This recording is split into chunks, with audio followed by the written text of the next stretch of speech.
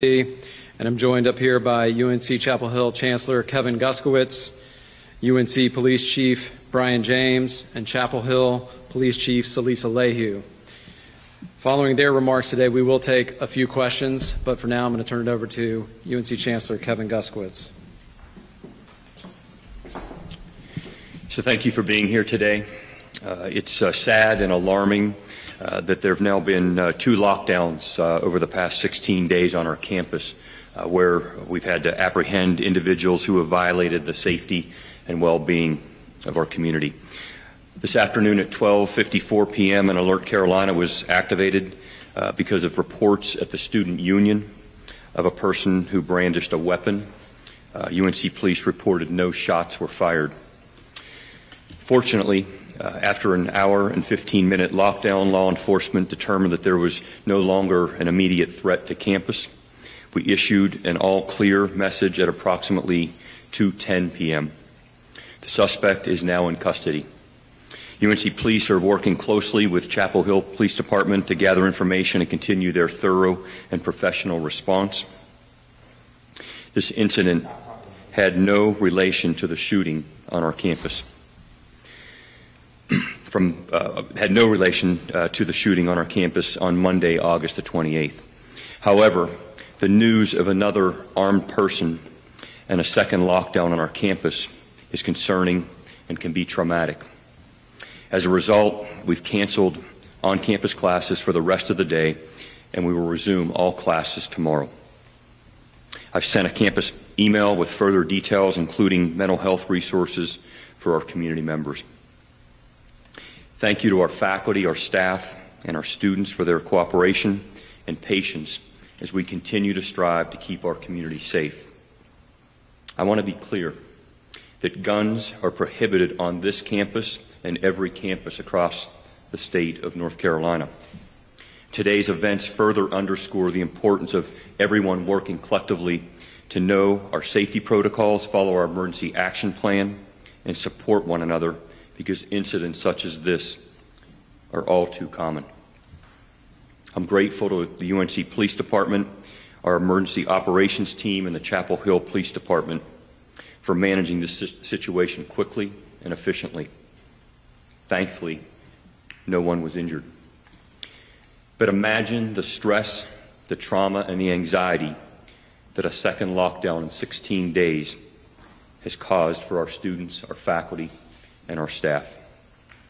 This pains me as a member of this community now for over 28 years, and I'm committed to doing everything possible to maintain the safety of all those who work, learn, and live here at Carolina.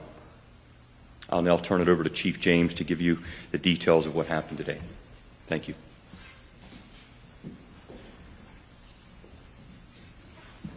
Good afternoon. I'm Brian James. I'm the Chief of Police for University of North Carolina. Uh, we are again disheartened by the incident that happened today on Carolina's campus. I would like to thank the UNC Police Department, the town of Chapel Hill Police, the Orange County Sheriff's Office, the Carrboro Police Department, and the North Carolina Highway Patrol for their quick response in keeping the campus community safe. Here are the updates we have to share from today's situation. At approximately 12:45 p.m., UNC Police 911 received an emergency call detailing a situation inside the Carolina Student Union. Once the situation was confirmed, UNC Police immediately took action and went on lockdown at approximately 12:54 p.m. According to witnesses, the suspect confronted an employee of Alpine Bagel, which is inside the union, and displayed a firearm and threatened the employee. He then fled the scene in a vehicle. The suspect, Mickel Deonte Harris, was apprehended by the town of Chapel Hill Police Department at approximately 2:45 p.m. in the 300 block of Formosa Lane. Harris was arrested on an outstanding order for arrest and was being sought in connection with the incident on Carolina's campus. UNC Police, with the assistance of the Town of Chapel Hill Police Department, is continuing follow up on this case, and charges on the suspect are pending. UNC Police will continue to be diligent in ensuring the safety of the campus community, especially during peak times of the day, to provide reassurance to our campus community. Thank you, and at this time, I'll turn it back to Kevin. Okay, thank you. As I mentioned, we'll have time for a few questions. If you do have a question, please raise your hand. We will get a microphone to you, and we'll go first row right here. Please identify yourself and your outlet. Aaron Sanchez Guerra, News and Observer. Uh, question for Chancellor and uh, also the Chief. Uh, why was the all clear issued uh, about 30 minutes before the arrest of the suspect? And, and I ask that in good faith, knowing that this situation is very different from the tragedy that happened. Um, but still, I wanted to ask that. Thank you. Yeah, I'm glad to answer that. Uh, we were conducting a follow-up uh, during that time, and we received confirmation that the suspect was not on campus. So we had good information that we were acting on. Of course, uh, we wanted to ensure that the campus was safe. We did a number of sweeps uh, around the grounds of campus as well as the outer perimeter, and we had assurance that the, the suspect was not, in fact, on campus. Gilad Malamed, CBS 17. Regarding um, where the incident happened or where the suspect went afterwards, was there camera footage or surveillance of him? And if so, why did that not go out to the public and to news outlets to show people this armed and dangerous person they should, you know, be on the lookout for and avoid, of course? We are still in the process of, re- of reviewing camera footage. Uh, keep in mind, we do have a number of cameras on campus, and oftentimes uh, it does take time in the midst of a situation where we're going into a lockdown and simultaneously trying to pull footage. So by the time we were able to access that footage, we had a confirmed location of the suspect, and we're working to uh, to make the arrest uh, with the assistance of Chapel Hill. Hey, Chief, this is Patrick Thomas with Spectrum News 1. I believe the Chancellor alluded to this earlier. I apologize. I was uh, relaying something back to a producer. But what was the connection and or no connection at all between the suspect and arriving at the Alpine Bagel Shop inside Student Union? At this time, uh, we are exploring what the relationship was. Uh, we believe that there was some time, type of connection. Uh, we certainly don't know what the motive is at this point, uh, but that'll only be discovered through uh, through interviews of witnesses and possibly the suspect if he chooses to speak with us. In the back. Jamiese Price with ABC 11. I was speaking with students today who said that by the time they received those text alerts, they were already in a locked room. Is there a reason why the alerts came out a little bit later? Um, so I'm not sure uh, which students you were speaking with. Um, what I would say is this: is that when we respond to a situation, uh, we have to confirm it uh, first before we go into a full lockdown. Uh, that is a concern. Uh, I would say also that throughout the country there have been reports where people have made uh, false calls. So it is important that we go to the location and actually confirm before we issue a lockdown notification. Those particular students uh, may have actually witnessed something that caused them to uh, shelter in place, which that action is totally appropriate. If they actually witness something, that is totally appropriate. But we do have to confirm from a law enforcement perspective before we go into a full lockdown. Hi, Kelly Kendall, Carolina Week. Chancellor Guskiewicz, my question is for you. I want to know, as not only as a reporter but as a student of this campus, how do student, students return to campus feeling safe after not one but two of these incidents? Yes, as I've already said, uh, this is the second uh, situation in 16 days, and uh, while, as I've already said, uh, unrelated, uh, uh, there's likely to be anxiety and, and trauma for our students. It's why we decided to cancel classes for the rest of the day, so that people could, um, you know, take take an opportunity to sit back, reflect on this, and so I, I, I it, it saddens me that that we we've had two situations in in little over two weeks. And so uh, we've got a lot of support, uh, uh, you know, for, for the students, for the faculty, staff. Uh, I hope that they'll access any resources that they may need as they're processing this.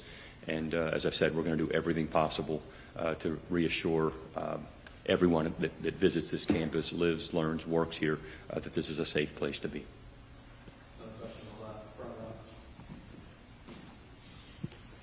Hi, Denise McMillan with WFMY News 2. You mentioned that Michael was connected to another assault. Was that connected to a situation on campus, and was he a student?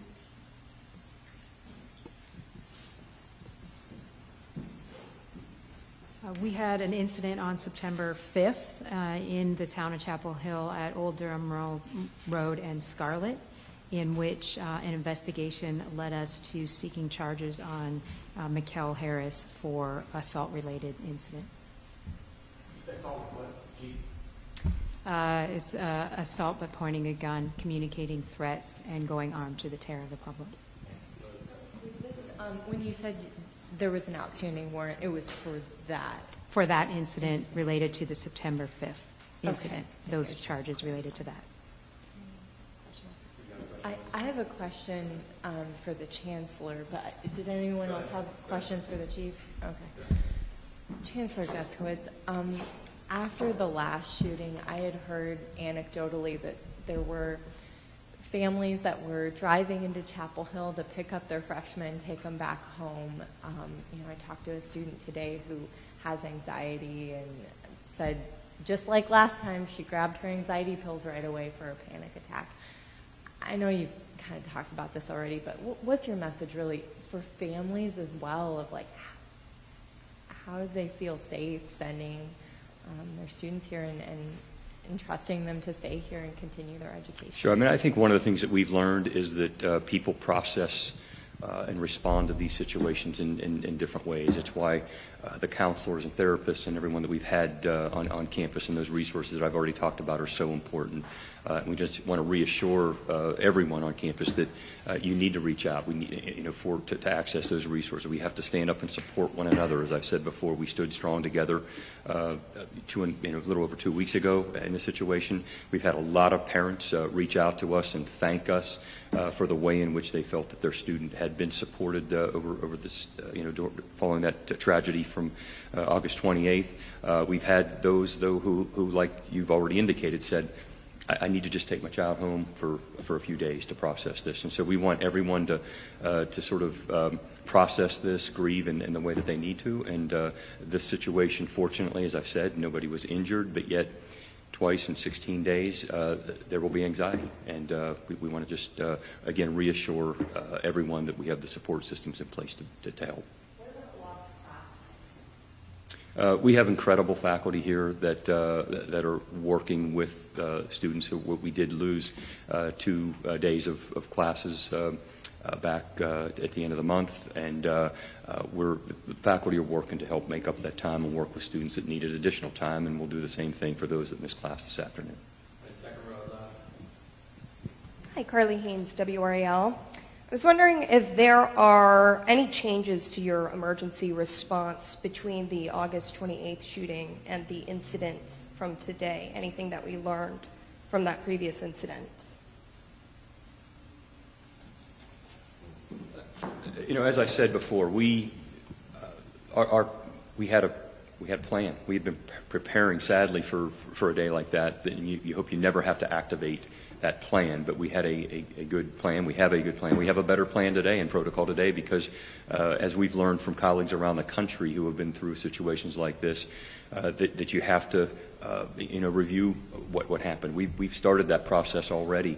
Uh, we heard that uh, many of the community members wanted to have more frequent updates through different uh, means of communication, and so we, we acted on that already, and, and we were able to put that into to play today. So that is one of the, the, the things that we've learned. As I said, there's no perfect response, but I'm really pleased with the way the teams, everybody, you know, responded today, and we will learn from today as well. I don't know, Chief, you may want to add something more. I'll just speak uh, from the, the law enforcement response, and I'll say from the August 28th incident and today's incident, everyone responded as they were supposed to. Our UNC police officers immediately organized themselves, uh, went into buildings, cleared areas, and, and our partners got here very quickly to help us establish a perimeter around campus and also help us to clear buildings uh, uh, as needed. So uh, we continually uh, train and we review our response and uh, and just do everything we can just to keep this campus safe. And we're very proud of the way that we responded. However, we stand here again hoping that this never happens again. Back row. Emmy Martin with the Daily Tar Heel. Um, this is follow up on a previous question, but why was there a 10 minute gap between that first 911 call and the first Alert Carolina message sent to students? So again, uh, we had to respond uh, to the area, uh, and it's uh, to those that, uh, that know Carolina, known as the pit at the student union.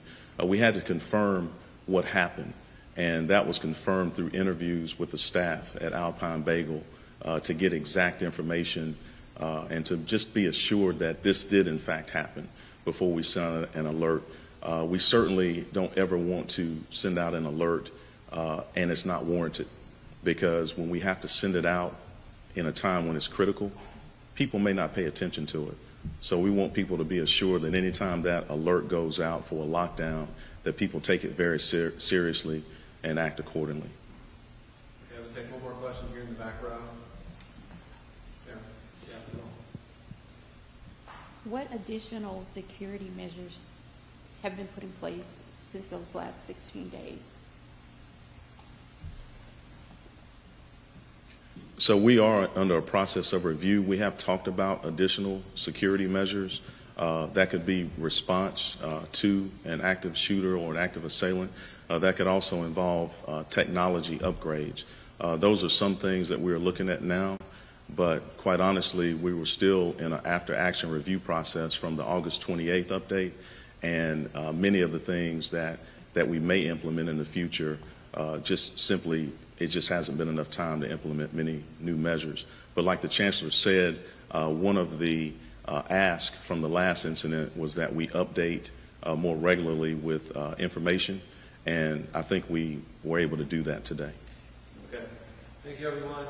Uh, we'll continue to provide, provide you more information as we have it, but that'll conclude today's press conference. Thank you.